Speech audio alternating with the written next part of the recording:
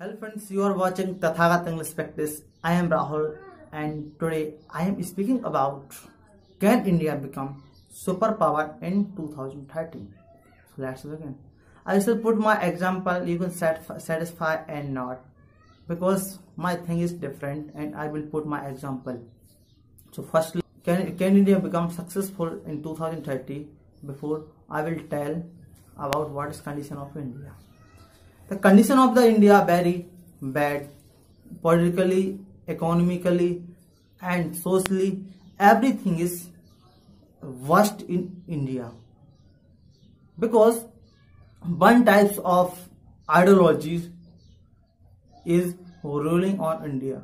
And this is not ideology this is not for good for become superpower of india. Because firstly you should what is need to become superpower of india. So superpower in india everything must be good in in country like technologically and youth youth must, must have employment and public public must be public must be happy and there is no problem and people of the country could take decision having thing. But what is condition of india? People cannot take decision in india. Because the the rights of humans rights of uh, democracy have people of india. But people of india people of india do not know that how can we use our rights? Suppose take example of vote people have rights of vote you can choose your leader by the vote but people just sell our votes sell on votes when leaders become cmpm in india. And there is no thinking of this scientifically and and many types of thinking of India to becoming superpower. Because what I see, there is 4, 4 billion people have not employment. And how can we fulfill our, our country in the 10 years? Untouchability could not be finished.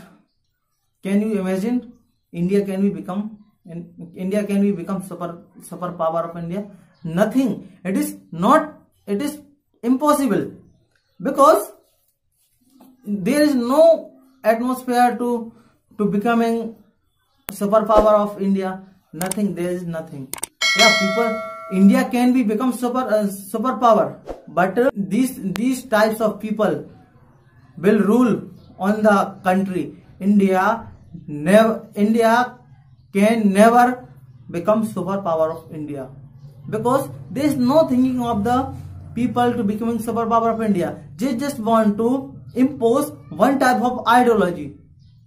And there is no aim to become superpower of India. And the thinking of the India is the unscientifically. To becoming superpower of India, country must be scientifically, but there is no science in India many people are educated in India. But the, if you talk about thinking of, so the thinking of the people is not scientifically. It is the against of science. You can imagine.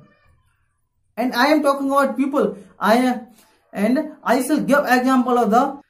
Firstly, I will example Mr. Narendra Damodar Das Modi. Narendra Damodar Das Modi that if we talk about thinking, it is not thinking of the scientifically. Because in 2014, Mr. Narendra, Mr. Narendra Damodar Das Modi had given statement about plastic surgery. Narendra Modi has uh, Narendra Modi had said that Lord of Ganesha is an example of the plastic surgery. Can you imagine? Is it possible in is it possible in science it is not possible in science if you talk about ex minister of rajasthan education minister vasudev denani Vasudev Dhenani is thinking that cow is the only one animal that that inhale oxygen, inhale oxygen and and release oxygen. Can you imagine? Can you imagine that? Is it thinking of scientifically? People consider that these are my ideal and these type of people responsibility types of people will give this type of statement unscientifically statement. So what will be impact of the people those people considered these are my ideal? Is it possible in it nothing